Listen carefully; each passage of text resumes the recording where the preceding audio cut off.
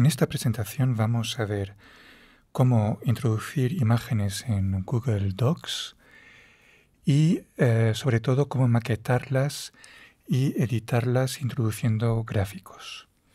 La primera manera de introducir imágenes es directamente arrastrando al eh, documento nuevas imágenes y aquí podemos eh, cambiar el tamaño y hacer elementos, pero no tenemos un control preciso sobre eh, la posición y, eh, y digamos, eh, guías para poder colocar correctamente las imágenes.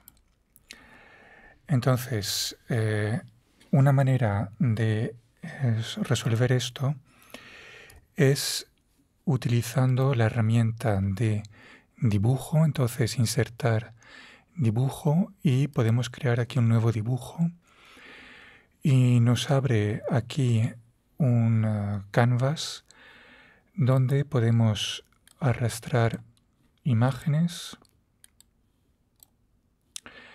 y uh, colocarlas uh, según los elementos que nos parezcan. Tenemos um, varias guías y podemos alinear de manera precisa los elementos.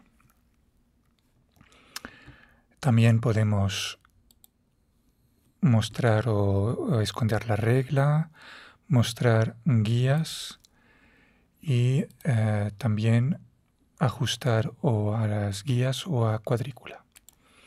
Entonces con estas guías podemos también eh, establecer líneas sobre las cuales vamos a establecer nuestros, nuestros elementos gráficos. Y también podemos añadir eh, texto y diferentes elementos gráficos como líneas que podemos hacer también como flechas o añadir eh, algunos elementos más sofisticados. Por ejemplo, aquí una flecha que podemos eh, transformar eh, luego. Y una vez que guardamos, nos va a aparecer aquí directamente el dibujo que hemos creado.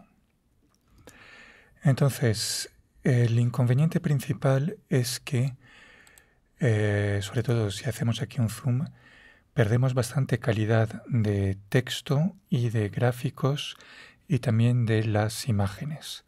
Por ejemplo, esta flecha está sumamente pixelizada. Entonces, para resolver esto, tenemos que eh, crear ah, algún gráfico, pero esta vez vamos a crear un nuevo dibujo que es un dibujo que va a estar externo al ah, documento. Aquí de nuevo podemos introducir imágenes varias.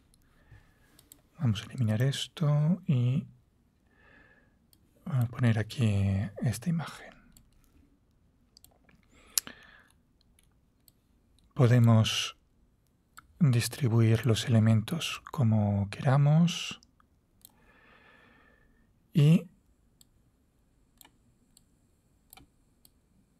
podemos también introducir líneas y ah, elementos varios. Por ejemplo, una llamada y aquí podemos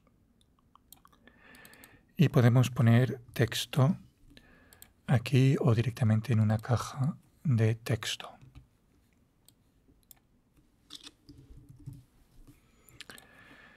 Entonces, aquí este documento debemos ponerle un nombre.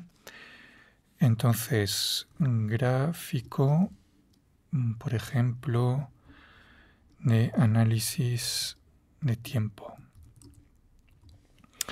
Y tiene que ser un nombre que podamos eh, recuperar y entender fácilmente porque eh, luego cuando volvamos al documento, por ejemplo, vamos a introducir aquí, insertar dibujo de Drive y aquí vamos a introducir el elemento que hemos salvado en un documento de dibujo externo.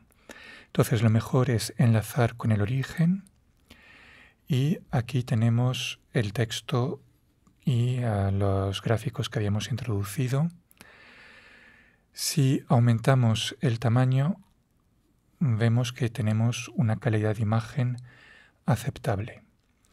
Y de todas maneras, aquí podemos también ir a configuración de página e indicar el formato que queremos. Un formato personalizado, por ejemplo, y podemos aumentar las dimensiones de nuestro eh, dibujo, con lo cual aquí cuando eh, volvamos tendremos que actualizar y eh, seguramente al haber aumentado el tamaño del dibujo nos va a crear más píxeles, con lo cual tendremos una mejor calidad de imagen. Y estas son las diferentes formas de introducir texto y una vez que lo hemos introducido eh, en el dibujo podemos hacer doble clic y, por ejemplo, recortar los elementos que sobren.